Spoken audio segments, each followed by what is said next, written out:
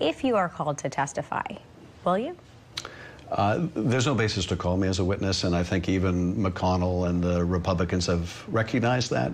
Uh, the uh, you know the only reason to even put me on a list is because Donald Trump thinks it's a good rhetorical attack. Uh, he also wants to call the Speaker of the House. I mean, it's absurd. Um, but nonetheless, there are too many Republican members willing to go along with the absurd. Now, there are members of the Congress who are, in fact, fact witnesses. Mr. Nunes is one.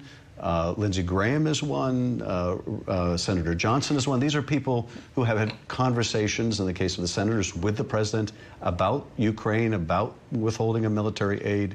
Um, and we didn't seek to call them in the House Intelligence Committee. We didn't want to make a circus out of it. Of course, the president's interest is in the circus. Do you think it would be a circus then to clarify what the whistleblower said to your committee? I think the goal with the whistleblower is different than putting me on the witness list. But the that's goal... why they want you, right? Because no, the whistleblower no, no, no. your committee. The reason they would like to call me as a witness is just to have a chance to attack me, uh, nothing more.